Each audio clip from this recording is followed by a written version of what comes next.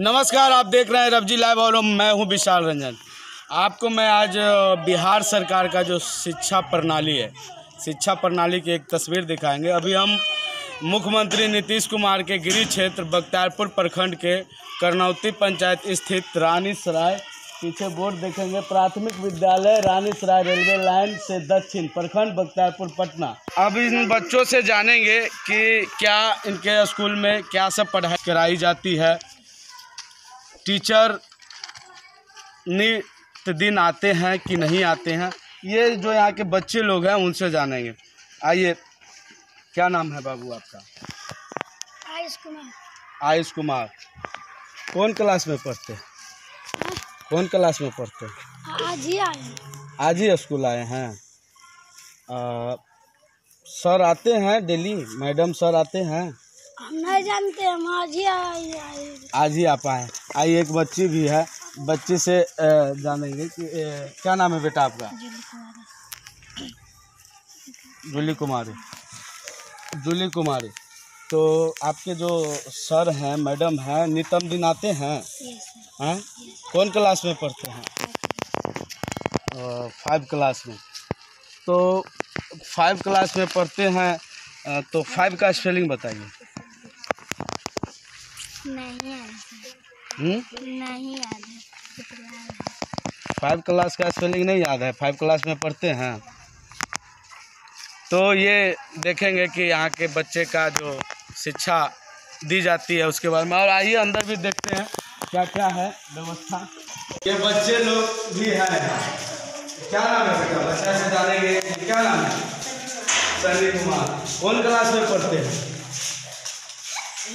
तो ये देखेंगे और एक और एक ये विद्या है। क्या विद्या क्या नाम है आपका?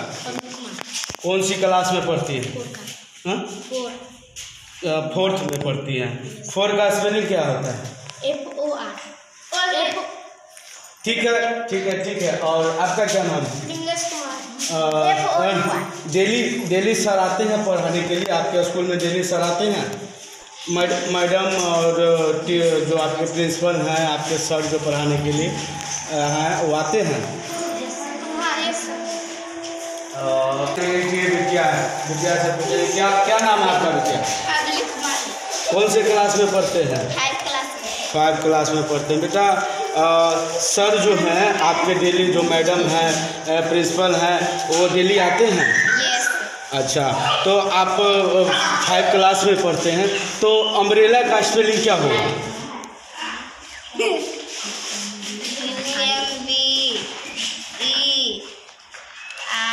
गलत है सर तो तो आप देखेंगे कि क्या है शिक्षा व्यवस्था।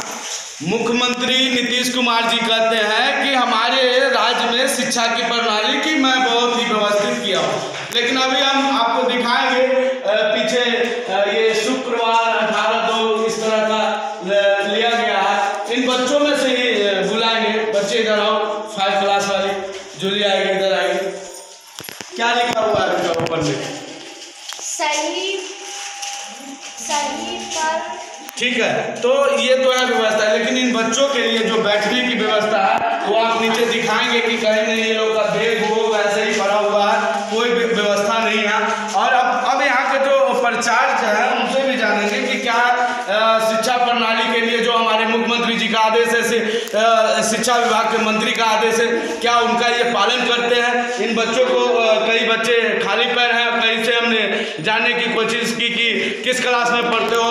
फोर्थ के बच्चे से पूछा तो फोर्थ का भी स्पेल सही से नहीं बता पाया। अब प्राचार्य और जो यहाँ जो अध्यापक है, उनसे भी जानेंगे कि क्या इन लोगों के लिए जो व्यवस्था अ, जाती है राज्य सरकार के द्वारा कि सभी बच्चे के पढ़ाई के लिए अच्छी तरह से व्यवस्था करनी है। तो उस पर हम यहाँ के जो प्रभारी प्रचार्य हैं उनसे जानेंगे। आइए आइए इनसे जानते हैं। आप यहाँ प्रभारी प्रचार्य हैं। प्रचार्य हुए बच्चे लोग कितने डेली आते हैं आपके स्कूल में? कुल मिलाकर अस्सी कभी आते हैं तो कभी नब्बे भी आते हैं सौ भी आते हैं। जैसे खाना बनता है तो और भी संख्या बढ़ जाती है। कभी तो आ- खाना बन नहीं रहा है। आज का आज का प्रेजेंटेशन कितना कितने बच्चे आ गए अभी तो हम टोटल किए हैं नहीं। बारह बज रही है मैम तो अभी देख अटेंडेंस में बना हुआ है जितना बच्चा मौजूद है उतना लेकिन टोटल तो ये बच्चे लोग क्या है? ठीक है ठीक ठीक ठीक ठीक। तो तो वो वो तो बात है लेकिन हमने अभी बच्चों से जानने का कोशिश किया कि किसी ने बताया फोर्थ किसी ने फाइव। ये जो शिक्षा का जो बेस है वो कमज़ोर क्यों है? इसको फोर का मीनिंग स्पेल मालूम नहीं है फाइव का स्पेल नहीं मालूम है तो क्या क्या कारण है गाँव का तो एक माहौल है। बच्चे लोग छः साल या सात साल में आते हैं एडमिशन के लिए, जो कि कुछ भी लिखना पढ़ना नहीं जानते हैं। उनको हम लोग सिखाते सिखाते आए। ऐसा सिस्टम है सरकारी स्कूल में कि बच्चे नहीं भी आते हैं, उसको भी फ़ाइल नहीं करना है। यहाँ तो पास कर दिया जाता है। सरकारी स्कूल में तो एग्ज़ाम भी नहीं हो रहा है। तीन साल से तो लॉकडाउन चला हुआ है। तीन साल से लॉकडाउन में स्कूल खुल रहा है, बंद हो रहा है। बच्चे आ रहे हैं, जा रहे हैं, कुछ नानी घर जा रहे हैं। इस स्थिति में तो यहाँ बच्चा कभी डगमगा रहा है। पढ़ाई। मध्याह्न भोजन की बात की जाती है सरकार के द्वारा। हाँ, हमेशा हाँ। तो ये हम मध्याह्न लोग भोजन को सिर्फ़ पठन पाठन का कार्य दिया जाएगा तो ना। यहाँ एमडीएम चालू होता है तो बच्चा लोग का संख्या बढ़ गया। और एमडीएम बंद हुआ बच्चा का संख्या सीधा कट जाता है। तो सिर्फ़ लोभ लालच तो सरकार दिए हुए हैं। तो आप ये जो हमारे मुख्यमंत्री जी और नीतीश कुमार और शिक्षा मंत्री विजय चौधरी कई बड़ी बड़ी बातें कहती हैं, कहते हैं कि हमने अपने सरकार के द्वारा हायर किया है। इस तरह से हमारी ग्रामीण क्षेत्र में शिक्षा प्रणाली की व्यवस्था है। तो हमारे ये मुख्यमंत्री जी का गृह क्षेत्र भी है, उनका जन्मभूमि है बख्तियारपुर। और बख्तियारपुर में इस तरह का शिक्षा प्रणाली जो कमज़ोर है, इसका बेस, इसका जिम्मेवार कौन है? जिम्मेवार तो अब सरकार ये ही ना है जो ध्यान दे बच्चे को फ़ाइल करने का हम लोग को आदेश दें कि बच्चा कमज़ोर है तो वैसी वही क्लास में रहने दिया जाए। तभी ना उसको और भी हम लोग ध्यान दें पढ़ाने पर कि इसको फ़ाइल किए तो ये बन में ही रह गया। कुल कितने कुल कितने अध्यापक और प्राचार्य यहाँ हम लोग तीन ही टीचर हैं यहाँ मौजूद। तो अभी अभी तो अभी तो संख्या दो दो अभी तो संख्या दो ही है। दो है एक स्पेशल लीव पर छुट्टी में है लेडीज़ टीचर है दो लेडीज़ टीचर एक जेंट्स टीचर है। जिसमें है कि एक का तो अभी छुट्टी में आ गया काम तो हम भी एबसेंट हो जाते तो दो ही टीचर पर। इस कारण हम लोग का क्लास भी दो ही में चलाना पड़ता है। वन टू एक क्लास में करना पड़ता है। कितने कितने कक्षा से कितने कक्षा तक पढ़ाई कराई जाती है? सब देखिए समूह में एक साथ होता है।